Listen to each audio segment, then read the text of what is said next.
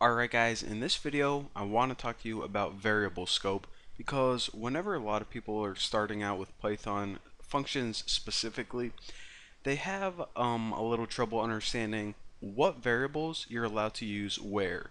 So I'm going to show you guys the very basic rules of variable scope. It's going to be really easy and save you guys a lot of trouble. So let's make a simple variable called a and set it equal to, I don't know, any number you want. Set it equal to anything you want, number, string, who cares. So now I want to show you guys two functions. You pretty much have to make any two functions you want. I'll just name one corn.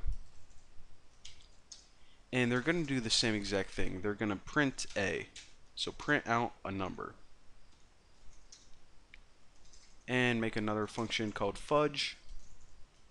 Again, the function's name, or the function names, don't really matter. And this is going to print a as well. Now below them, let's call both of them. So corn and fudge.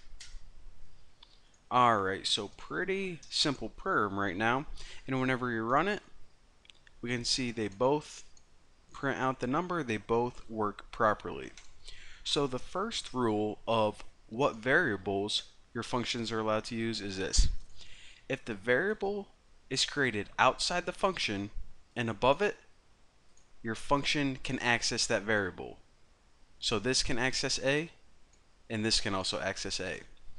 Now, why I'm even making this tutorial is because of this issue. Say that this variable was created inside corn. Let me tighten it up a bit. So now we already see that we have an error right here and it says unresolved reference. And actually if we try to run this, we get this little error message right here. So the other rule I want to say is whenever a variable is created inside a function, only that function that created it can access it.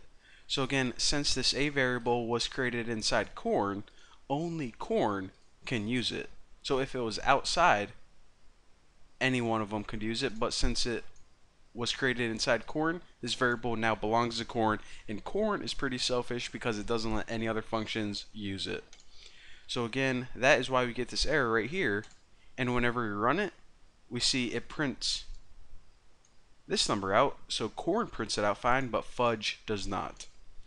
So that is the really simple two minute explanation of variable scope. And uh, well, hopefully you guys understand very basic rules. I know that this, uh, let me think if there's something else I could teach you real quick. Alright, well, I want to teach you guys about like keyword arguments and this thing called like um unknown amount of arguments, but it's gonna take a little while, so I'll just save it for the next video. But anyways, thanks for watching. See you next time.